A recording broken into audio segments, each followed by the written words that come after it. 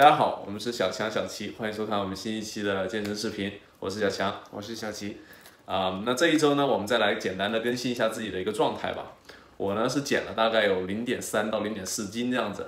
因为呢我上一周其实啊、感觉有氧做的好像稍微的好了一点，就是说我游了一次泳，还跑了两次步。啊、那从上一周开始呢，我对自己的饮食做了一些调整。就在之前的时候呢，我的每周每一天的碳水、蛋白和脂肪的摄入量都是一样的，就是说我每天吃的东西基本上都是完全一样的。那上一周呢，我采用了一个就是高碳日和低碳日的这种方法吧。然后呢，我是连续三天，我的碳水就是说会高一点，就是说我一天多一个香蕉的量，基本上是三十克碳水。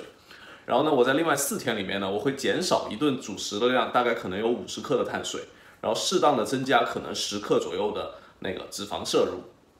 然后呢，我想看一看自己的身体对一个脂肪和碳水的一个调整会有什么样的反应，以帮助我可能在备赛期的时候最后阶段啊、有助于我做一个调整吧。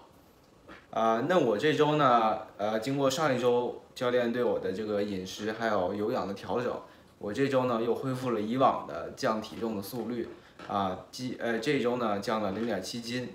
啊，就是算一个比较正常的减体重的速度，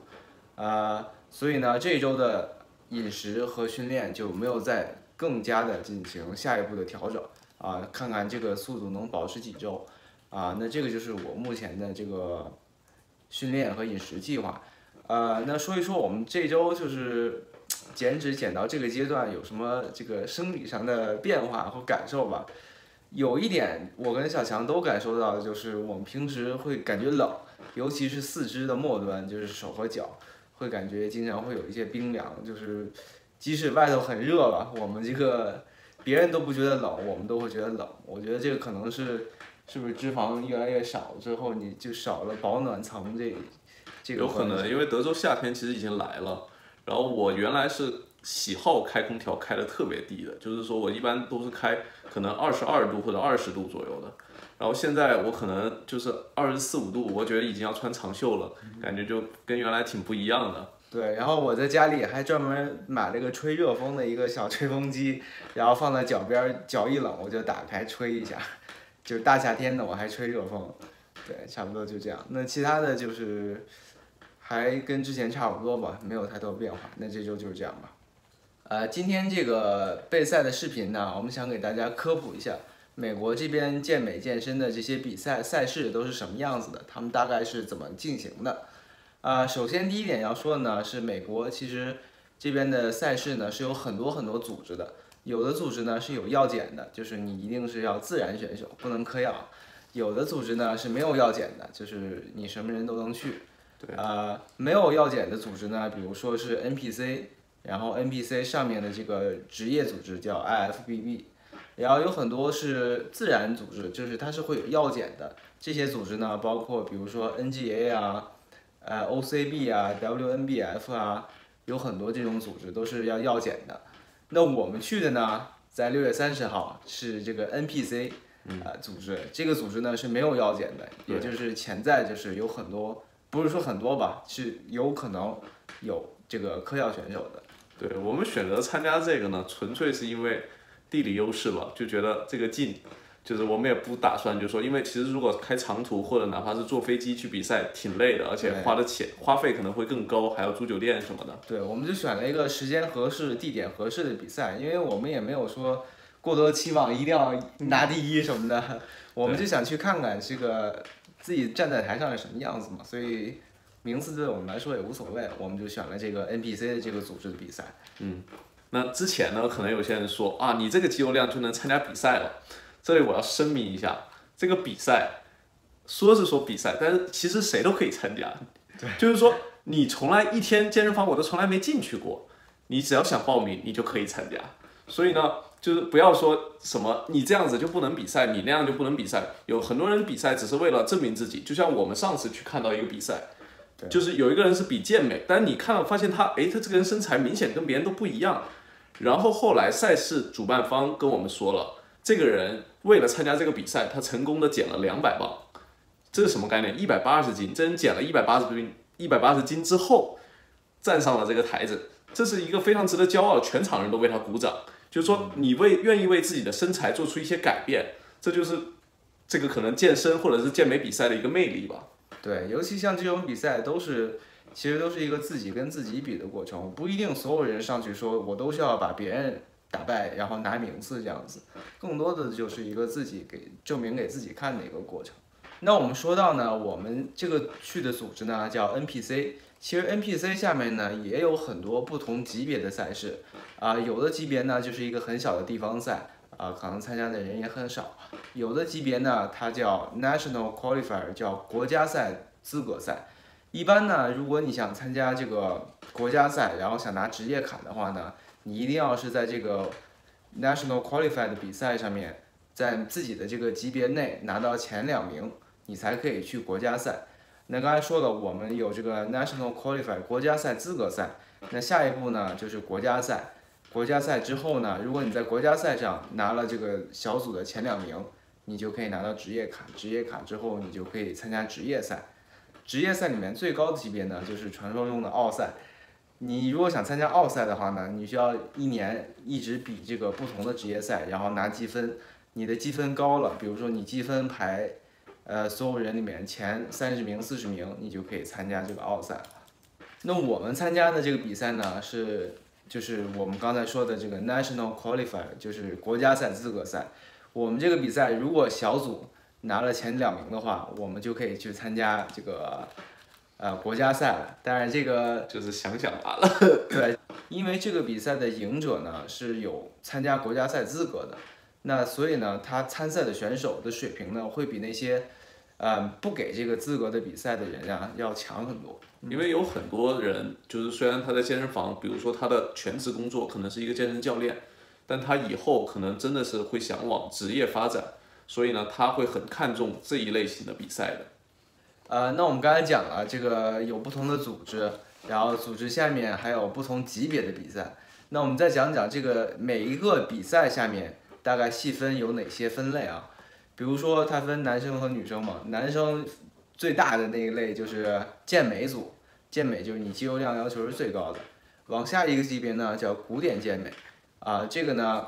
它比这个健美的肌肉量要小一点，它是有一个体重上限的，比如说你身高多高的时候，你体重不能超过这个数字，超过了你就比不了这个古典健美了，你就只能去比正常的健美了。呃，古典健美再往下再小一个级别呢，就叫男子形体，呃，或者叫男子健体，这就是我跟小强准备去比的这个级别，是最小的一个级别。对，嗯，就是在如果按拳击来说，这就是饮量级的，是不是？羽量级、轻量级这个感觉。嗯。然后女生这边呢，也有对应的他们的这个级别，也跟男生这边差不多吧，只不过名字不一样。最底下的这个级别呢，叫比基尼级别。那我们刚才说了有这么多的这个健身组织。然后又说了，组织下面有这些大类。那我们现在来讲一讲每个大类下面呢具体的分组。一般的比赛呢都会有这么两个组啊，就是新手组和公开组。新手组什么意思呢？就是如果你在这个新手组里面从来没有拿过冠军的话，你就可以一直参加新手组。如果拿了之后，你就只能参加公开组了。那我跟小强从来都没有比过赛，我们当然是要参加新手组的了。当然，同时呢，我们也会参加公开组，看看我们在这个。所有人里面是个什么样子啊？那每一个组下面呢，还会细分成各个的小组。这个是按什么分呢？就是按身高分的。如果人越多的话呢，你这个身高就会分得越细。比如说一米六八以下是 A 组，啊一米六八到一米七二是 B 组，然后以此类推。啊，如果人很少，比如说你这个比赛，这个男子健体只有十个人，那可能就分两个组。比如一米八零以下是一个组 A 组。一米八零以上是 B 组这个样子，啊，当然了，健这个这个是男子健体是按身高分的，健美的话是按这个体重分的，但我们不比健美，所以我们在这里就不细说了。那这个比赛基本上就是这个样子。那那小齐刚刚讲完了这个健身健体比赛的一个分项目和分组别，那我来讲一讲那个健体比赛，具体男子健体里面到底比的是什么吧。从官方的信息来说呢，主要是比两个点。第一个点呢，就是你的整体的肌肉的比例，然后肌肉是不是对称，然后还有就是肌肉量和一个体脂率。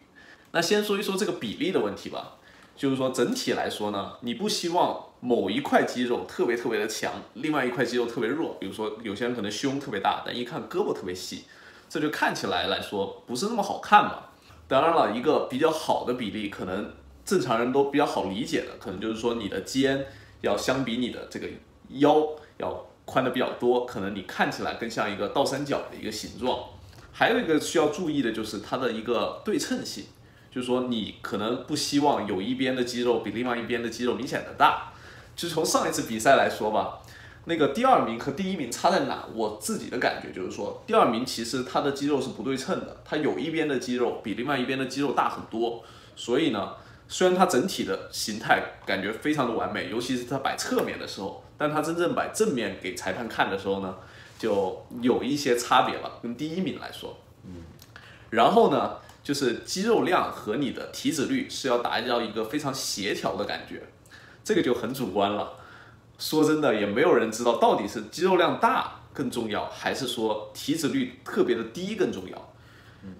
因为呢，它有一个说法是，就是说如果你的肌肉量太大了，其实是会扣分的，这就很矛盾了。而且还说，如果你体脂太低了，有点像健美选手那种，就是说是每一个那种。Vascularity 是什么？就是说那个全身爆血管，全身爆血管也是扣分的。他要你传达的是一种，就是说正常一个锻炼的人就能获得的一个身材，来更好的激励人去进入健身房撸铁什么的。但是呢，就是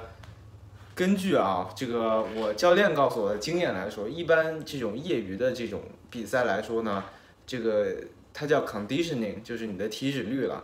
呃的重要程度呢，是比肌肉量的重要程度要更大的。就比如说一个人这个肌肉量非常大，但是他体脂减的不是很低，和一个肌肉量比他可能小个十斤二十斤的人，但是他很体脂率很低的话呢，这个小十斤二十斤体脂低的人呢，更有可能啊赢过这个肌肉量很大但是不是很干的这个人。当然了，这是比赛的一个初衷，就是说你练的这个男子健体的身材，应该是正常撸铁的汉子们都能达到的一个身材。嗯，但是呢，你去看看奥赛，反正我不知道你们的想法是怎么样的。我觉得男体健男子健体那个身材，我这辈子估计估计悬。对，因为它这个竞争很激烈嘛，这个这么多人都在比，比来比去，它这个最。标准其实就有点越提越高了。对，其实它这个比赛开办了这么多年，每一年的这个参赛选手的这个呃平均体重都在往上走，这个是没法避免的。因为你台上两个人站一块儿，一个人比一个人大一些，然后干一些，那个人就会赢，然后大家都会朝着这个第一名努力，所以大家最后越比越大，越比越大，就是这样子。那还有一个第二点，这个是比赛官方上专门说出来的，就是说你要给。观众传达一种非常正能量、非常阳光，就是说你的个性。这里面呢，其实跟健美有非常非常大的区别。尤其是如果小伙伴们看过一些健美比赛，他们其实在展示肌肉的时候，面部的表情是非常非常狰狞的。有时候呢，你看那些健美选手，虽然说他们也在露着笑容，但他们的笑容都是 这样笑。我个人觉得实在没有什么亲和力。但是呢，男子健体有明确的要求，就是说你其实是要非常正能量、非常阳光，感觉到你这个人非常有亲和力的。当然，这里面我觉得我们拍视频其实对我们有一些的帮助，因为可能不断的面对着镜头练习笑这个这个